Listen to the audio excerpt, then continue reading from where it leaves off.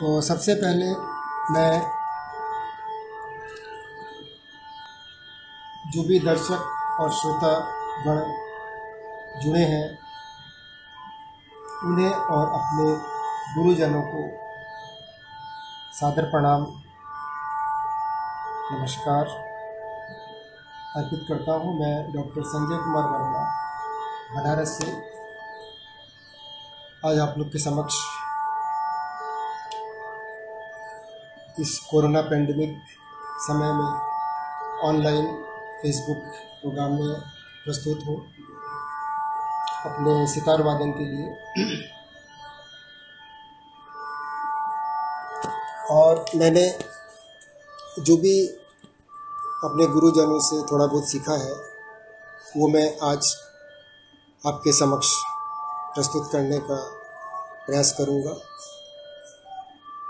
अगर कुछ त्रुटि हो तो उसके लिए मैं पहले से क्षमा प्रार्थी हूँ। और आज मैं जन सरोकार मंच टॉप के इस फेसबुक पेज पर लाइव आपके समक्ष प्रस्तुत हुआ हूँ। और इस पेज पर मुझे आमंत्रित करने के लिए जन सरोकार मंच के सभी आयोजक मंडल के सदस्यों को मैं अपनी तरफ़ से सादर आभार और उन्हें हार्दिक शुभकामनाएँ देता हूँ कि इस प्रकार से वो संगीत के आयोजन अपने फेसबुक पेज पर आयोजित कर रहे हैं, जिससे कि हम लोग घर में रहते हुए भी इस कोरोना पेंडेमिक समय में अपनी कला का प्रदर्शन इनके फेसबुक पेज के माध्यम से दर्शकों और श्रोताओं तक पहुँचा रहे हैं। तो ज़्यादा समय न लेते हुए आज मैं अपने सितार वादन का प्रारंभ राग यमन से करूँगा, जो कि सायंकालीन इसी समय का राग है,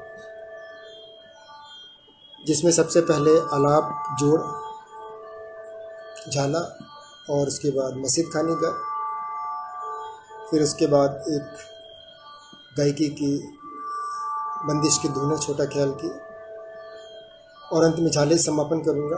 और समय रहा तो मिश्र पीलू में एक छोटी सी धुन दादरा ताल में प्रस्तुत करूँगा। और मेरे साथ आज संगत के लिए श्री राजेंद्र जी उपस्थित हैं। और इनको भी मैं आभार व्यक्त करता हूँ कि आप मेरे साथ संग तबला संगति के लिए आए हैं। तो अपने कार्यक्रम की प्रस्तुति मैं शुरू करता हूँ। सबसे पहले राग यमन।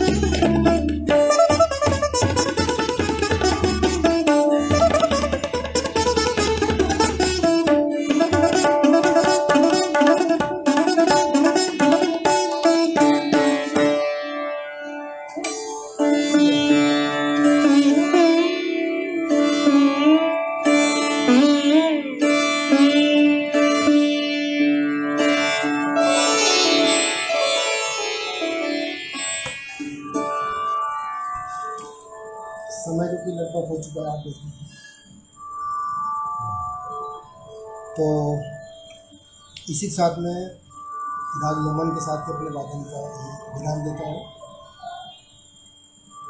और एक बार पुनः सभी दर्शकों को मेरा आभार कि वे लोग इतने समय तक जुड़े रहे। और जन सरोकार मंच टॉक के सभी आयोजकों को मैं पुनः अपनी तरफ़ से आभार व्यक्त करता हूँ कि उन्होंने मुझे अपने फेसबुक पेज पर आकर के अपने सितार वादन की प्रस्तुति का यह अवसर दिया। और राजेंद्र जी को भी बहुत बहुत धन्यवाद उन्होंने बढ़िया संगत किया। और इसी के साथ मैं आप सभी लोगों से विदा लेता हूँ। कुछ हो सकता है त्रुटियाँ हुई हों उसके लिए मैं क्षमा प्रार्थी मैंने पहले भी कहा अभी भी क्षमा प्रार्थी हूँ। और जो भी थोड़ा बहुत बजा वो बड़े गुणीजनों गुरुजनों का आशीर्वाद और उनके आशीर्वचनों से ही मैं उनकी, मैं बजा पाया। तो इसके साथ ही सभी लोगों को बहुत बहुत धन्यवाद। आभार।